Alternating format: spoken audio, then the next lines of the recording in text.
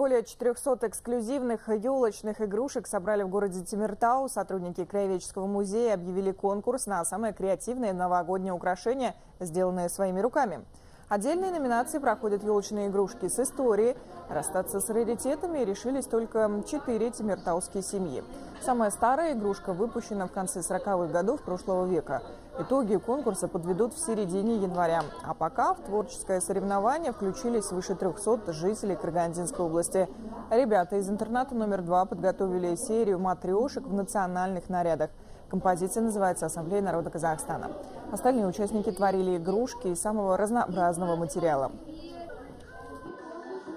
В основном войлок, мне кажется, очень много, а, нитки, э, пластиковых бутылок очень много, лампочек, даже из приправы, из корицы сделали, анис использовали. Даже в ход пошли электроприборы.